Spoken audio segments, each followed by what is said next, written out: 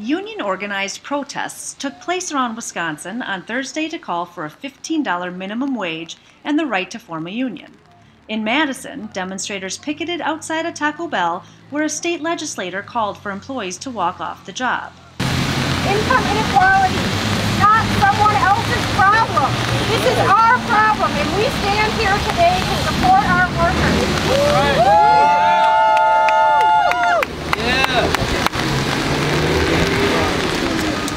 We're gonna go in now, we're gonna hand in some uh, strike papers to the we're gonna walk those workers off the job. I invite you all to join us in support these workers moving our country forward. After demonstrators filled the fast food restaurant, three Taco Bell employees left in the middle of a shift to join the protest.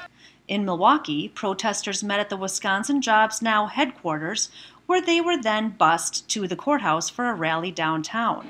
Here, another state legislator applauded workers that walked off the job and the unions that organized the protests.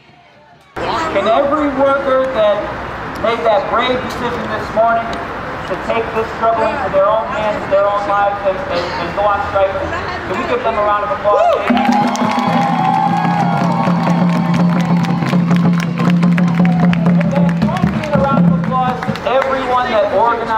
Today's not an easy job.